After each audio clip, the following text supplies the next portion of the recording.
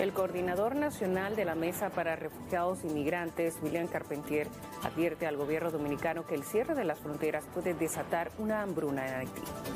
William Charpentier, además de advertir al presidente Luis Abinader que el cierre de la frontera agudizará la crisis alimentaria que afecta a Haití, también recordó el impacto económico que sufrirán ambas naciones. El, conflicto que se da alrededor del son conflictos que se dan en todo el mundo cuando donde hay, hay fronteras. Eh, entre Haití y la República Dominicana hay una relación comercial bastante elevada.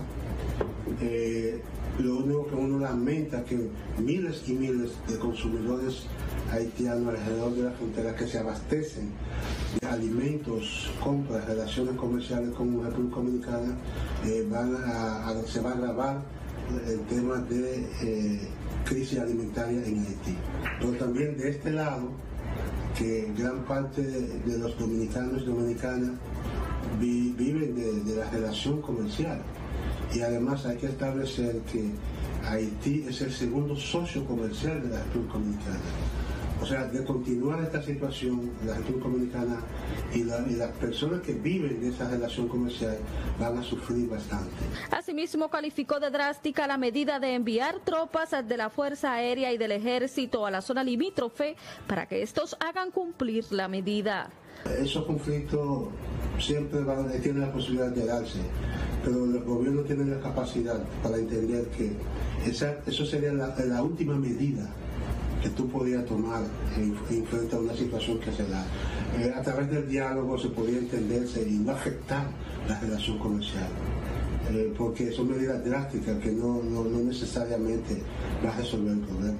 El coordinador de la Mesa Nacional para las Migraciones y Refugiados pidió a ambos gobiernos sentarse en la mesa del diálogo y bajo un árbitro internacional, ya que esta sería la única manera de llegar a un acuerdo en torno al impasse por la construcción en el canal en el río Masacre.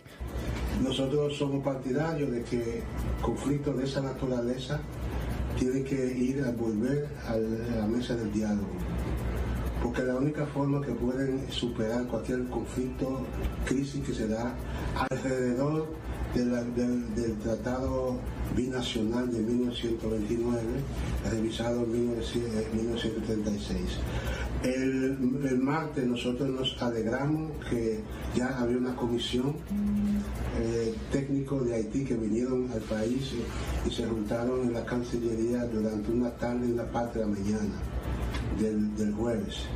Eh, bueno, nos sorprendió bastante porque vimos que el presidente anunció el cierre total de, eh, de las fronteras En tanto que la calma ha imperado este viernes en el paso fronterizo de Dajabón, en la primera mañana de cierre total de la frontera dominicana con Haití, mientras que del otro lado continúa la construcción del canal para desviar al río Masacre.